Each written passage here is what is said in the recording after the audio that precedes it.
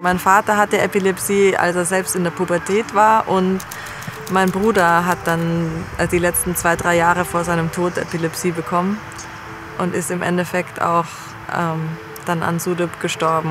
Das erste Mal von Sudip gehört habe ich erst nach dem Tod von meinem Bruder vor ungefähr acht Jahren, ähm, weil meine Mutter das dann quasi zufällig entdeckt hat, dass es das gibt. In Österreich war das den Ärzten nicht bekannt, dass das eine Todesursache sein könnte. Und sie hat zufällig Infomaterialien aus den USA bekommen und dann war für uns halt klar, also woran er gestorben ist. Bis dahin gab es da keine Erklärung dafür.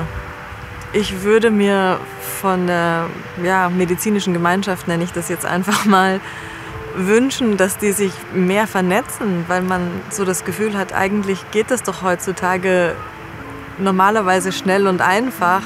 Aber was den medizinischen Bereich angeht, habe ich ganz oft das Gefühl, meine Mutter war mit Google schneller als österreichische Ärzte. Und das kann irgendwo nicht wahr sein.